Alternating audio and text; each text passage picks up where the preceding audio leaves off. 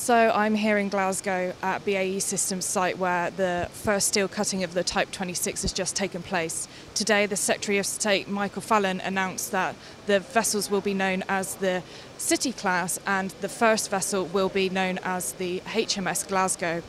We spoke to the Secretary of State about the programme.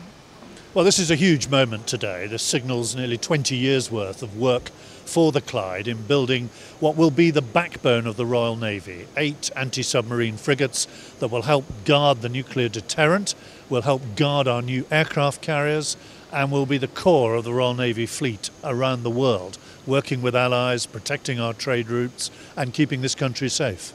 Well, we have to make sure that we keep the fleet numbers up, so we have to have have the Type 26s com- coming along in time to replace the oldest of the Type 23s as they retire. Well, these are anti submarine frigates. They're the quietest um, submarine hunters ever built, the most sophisticated warships uh, around, and they will help uh, uh, search and uh, locate uh, submarines that uh, may have hostile intent towards us. They'll be able to deal with those. You've seen the gun on the front of the ship and uh, its uh, ability also to uh, carry out other missions from the compartment in the center of the ship that could provide humanitarian aid or, um, or, or, troops to land to, to carry out military operations as well. Okay. Well, the Royal Navy sits at the heart of our defence. Um, guarding our, our country, keeping our sea lanes open, working with our allies and other navies to deal with threats to the United Kingdom.